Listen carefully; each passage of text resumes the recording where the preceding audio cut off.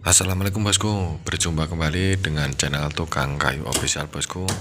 Di video kali ini saya akan berbagi tutorial cara memasang handle pintu kunci kayu mudah dan cepat, nggak sampai 20 menit sudah selesai. Yang pertama siapkan dulu bahannya yaitu handle kunci dan pintunya yang akan dipasang handle kuncinya selanjutnya ini tempelkan bodi dari engsel pintunya yang bagian dalam bosku. Tinggal dicoret mengikuti dari polanya.